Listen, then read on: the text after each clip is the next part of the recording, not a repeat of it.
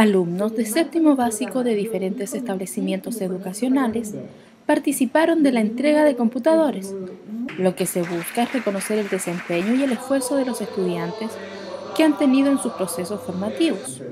por lo que el gobierno a través de la Junta Nacional de Auxilio Escolar y Becas JUNAEB y el Ministerio de Educación MINEDUC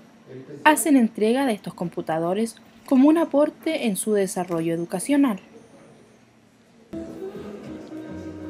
Con la presencia de las principales autoridades regionales y locales,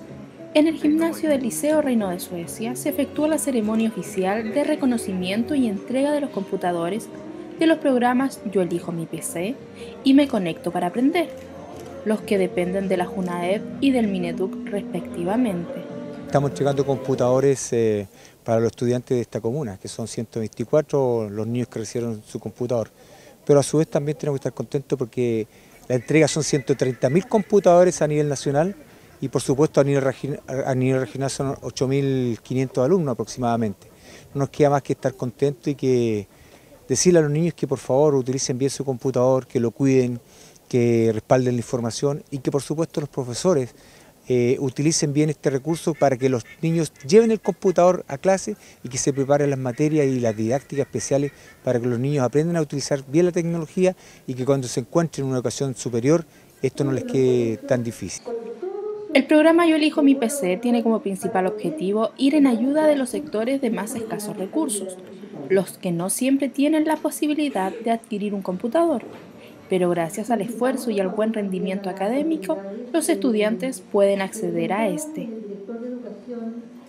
Me pareció muy bien porque así cada estudiante puede, puede tener su, su equipo y muchas personas que le faltan dinero para comprarlo, eh, el gobierno se lo entrega y para que cada niño pueda salir adelante. Fue muy bonita porque a cada niño que se esforzó tuvo un beneficio por su esfuerzo y espero que todos estos computadores duren, duren y lo puedan usar de manera formal. El alcalde Juan Payafil en su discurso felicitó a los beneficiados, recalcando el reconocimiento por un lado al rendimiento académico de los estudiantes y por otro el aporte y apoyo que hace la familia para poder inculcar en el joven disciplina, principios valóricos y el aprendizaje. Es una buena medida que ha tomado el gobierno porque mm, generalmente la gente no tiene acceso a la tecnología y hoy día la tecnología es muy importante y, es un apoyo para una educación de calidad y por eso que se entregue 124 computadores en nuestra comuna para nosotros es muy importante porque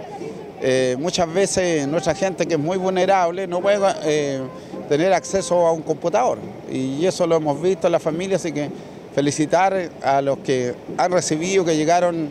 eh, a, séptimo básico y poder tener hoy día un computador para aprender, porque de eso se trata, porque el programa es para que la gente aprenda y conozca la tecnología, no para hacerle un mal uso, así que facilitar a los, eh, felicitar a los alumnos y también a los padres para que también se preocupen de controlar que esto eh, equipos computacionales se utilicen de la mejor forma. Por otro lado, el director del Liceo Reino de Suecia, Mario Vázquez, indicó que es reconfortante ver las caras alegres, sobre todo de los niños y de los padres. Muchas veces las familias no pueden lograr concretar el deseo de los niños de tener un computador personal donde poder acceder a esta tecnología.